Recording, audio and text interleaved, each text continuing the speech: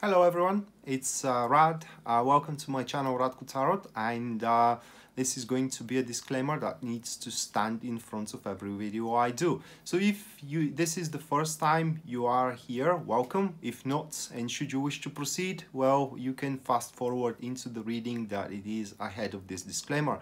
But as a disclaimer, I need to advise you that this is a, a general reading um, of the representative star sign.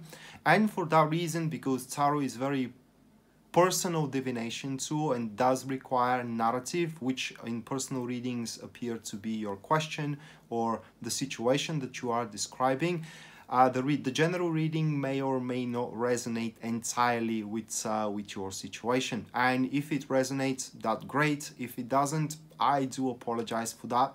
But i'm yeah, and I wish you the best, you know, with with the situation that you're trying to cope with. But um, if you wish to proceed with the um, personal readings or uh, you wish to follow me on Facebook or on YouTube, you know, all, of that, or visit my website, all of that is going to be written in the description box down below. And uh, thank you for watching in advance. And uh, now lay back and uh, enjoy the video. Alright, so this is going to be Pisces Sun, Pisces Moon and Pisces Rising. Weekly tarot reading November 4th to November 10th, 2019. And uh, bear with me just a second, guys, to shuffle the tarot cards. And uh, we can jump right into it.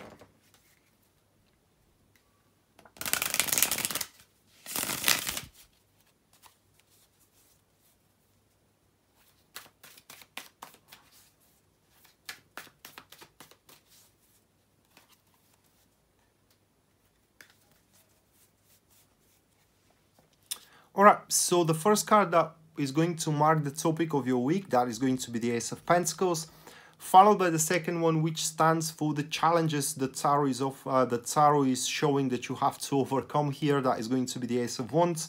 Third card that it is the positive aspect of the week for you. That is going to be the King of Wands, and then the last one here that stands for the guidance the tarot is offering. We do have the World card. Interesting. All right, so uh, Ace of Pentacles, which is the very topic, is going to be catalyzed in your case with the Star card. Uh, that will be a difficult one. Mm. Okay, so we do have a, a passive enemies, first of all. And contrary to uh, the usual perception of uh, these two cards, uh, they actually are urging you not to stray away from your current path that you have chosen a couple of weeks ago maybe or a couple of months ago or a, a year before. So simply what those cards are saying it is that this week there are going to be distractions in a sense of that things are going to tempt you around to kind of like um, abandon or forlorn your current endeavors, like the endeavors into your relationship, for example, or the endeavors into your career, and jump into certain newness that uh, it just appeared in your life. Now, because the star card, it is a catalyst to the ace of uh, pentacles, and actually it is a, not a very good combination because it points to the delusion that one may have for either lucrativity or happiness that they could uh, find into this newly found um, into this newly found how to, how can I say it? Into this newly found opportunity let's say all right? Or in an option available. Now as in a passive enemies uh, those uh, those two cards are pointing you not to walk away from um, from difficulties or from slog that is because uh, it is likely that you are to find your current endeavor like your current career for example or your current relationship to enter in a certain slog. And that will be a, a further prerequisite for you to try something new you know to just kind of like uh, wash your mind a little bit to, to occupy your mind with something else but what you don't know it is that exactly that this slog that you will need to overcome throughout the week will um, help you to mm, kind of make progress into either career or relationship wise.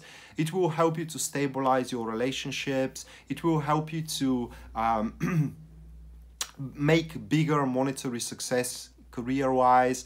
And uh, ultimately, uh, it will lead you to a certain stage of content all right it will lead you to a certain stage of happiness as well so whatever you do whatever you are doing at the start of the week you should keep on doing it throughout the rest of the week instead of just forelearning it and jump into something else that may or may not happen and even if it can happen even if it can be productive it's still going to require damn long time all right? So you can't um, hope for a fast growth and fast success throughout this week but in my book at least it's better to uh, bet on the secured slowed and steady progress rather than something that's it's not exactly formed yet uh, in the um, in the void of the universe so the next one, it is the challenge itself. I pretty much touched on it. We do have the Ace of Wands and it is accompanied by the Nine of Wands. We do have an active uh, supporters here and that is the opportunity itself okay? That is this uh, gaining full enterprise i would say that is going to appear as a distraction in your uh, in your life. And the worst thing here about these two cards is that you are to take it as something that you really want or this is what i wanted okay? But uh, challenging wise here it is that you need to dwell on your extreme sense of patience your extreme uh, sense of um, self-preservation. Because these two cards guys are pointing that danger is lurking somewhere along the way into this new enterprise i mean. And should you charge in it without looking into the signs that the universe gives you right um, one could very well charge toward their own destruction and you don't want to destroy what you have built for so long time do you? That's uh, entirely up to you. So uh, if i have to give you an example you know maybe your current relationship is slogging at that particular stage and suddenly someone else appears that it is very cheerful very passionate you know it, it, it it whispers in your ears the words that you want to hear. That is the, tempt- the temptation that you want to that you need to resist okay? And instead of throwing yourself into something that may or may not happen and destroying your current relationship actually overcome the slog.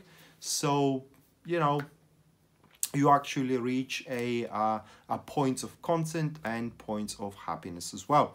So uh, the next one uh, is going to be um, the positive aspect and we do have the King of Wands accompanied with the Two of Cups. A very...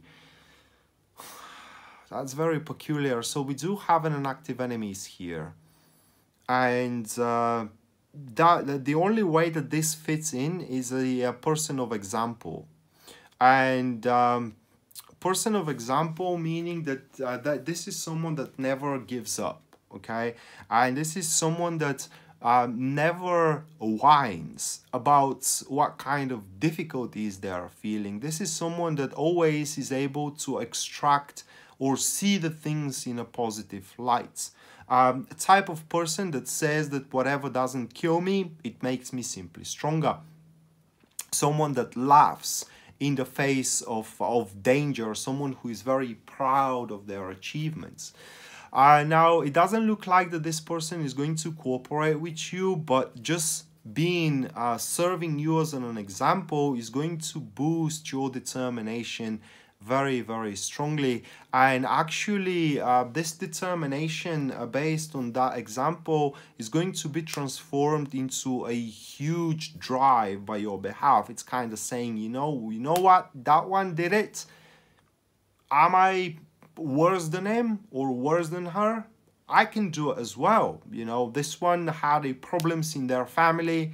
They were able to um, to overcome those problems so me and my wife can overcome them as well right this one faced troubles in their business they squeeze their teeth and find a way through so I can find a way through too.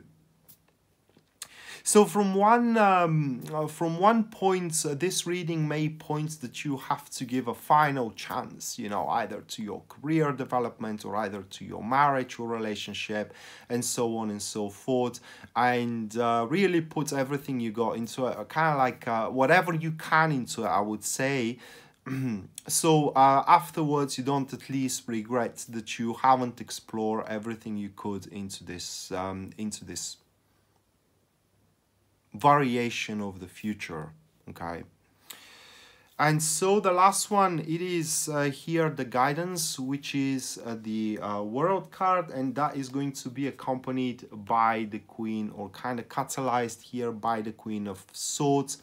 We do have a passive enemies in this particular position and uh, the world and the queen of swords it's also very difficult kind of a situation a, um, a combination to be interpreted so um, these cards are pointing that you shouldn't be biased about um, your current state your current endeavor.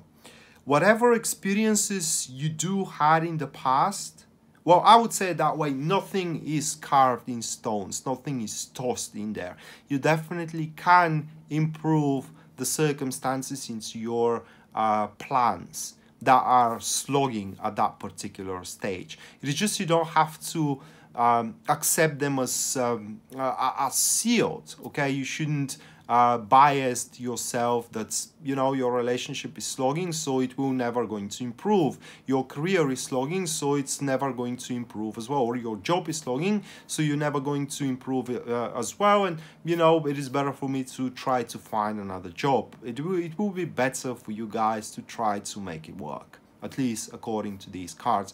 Because you do have the necessary negative that that is the weird thing here all right? You do have the necessary negative experience in the sense of that you do have a lessons learned back from the days that will allow you to uh, to push the things through.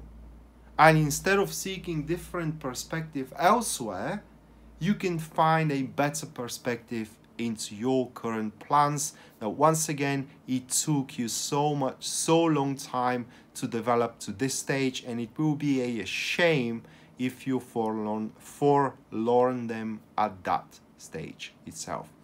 So that being said pisces this was your weekly tarot reading november 4th to november 10th 2019 hope you enjoyed it and you liked it guys and we're going to see each other next time. Until then bye